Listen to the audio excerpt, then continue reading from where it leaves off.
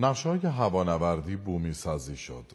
در مراسمی با حضور معاون علمی و فناوری رئیس جمهور و فرمانده نیروی هوایی ارتش از نقشه های بومی هوشمند هوانوردی با نام سپهر رونمایی شد.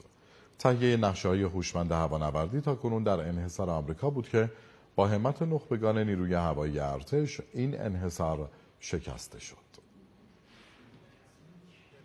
آنها که مدعیند دوست مردم ایرانند مدت هاست در کنار اقتصاد و معیشت و حتی داروی ملت نقشه های هوایی خطوط پروازی را هم از ما دریغ کردند.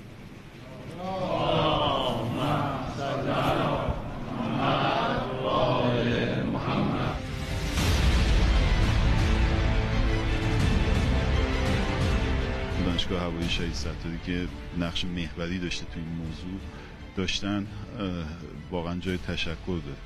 نقشه ها خب می‌دونید به صورت انحصاری توسط یه شرکت امریکایی تو دنیا در واقع تولید میشه و به خاطر مسائل تحریم خلبانا با مشکلات خیلی زیادی مواجه بودن چون نقشه ها عمدتا دیج... نقشه ها همه دیجیتال هست آنلاین هست. دقیقا روی نقشه که الان تو جپس نگاه کنید not scale هست. ولی ما اینجا دقیقا scale زدیم. از زمانی که این موضوع جز مباحث برجامی بود و ما تحریم شدیم به این فکر افتادیم که در این راستا همکاری را انجام بدیم. اخیرا به نتیجه رسید با همکاری که از شرکت های هوانوردی تست شد. حالا امروز متخصصان نیروی هوایی ارتش با بهرهگیری از توان شرکت های دانش بنیان flight AIP یا همون نقشه های دیجیتالی پرواز رو بومی کردند یعنی حالا دیگه به شرکت جپسون آمریکا نیازی نداریم. تا کنون فقط جپسون توان تولید این نقشه را داشت ما با یک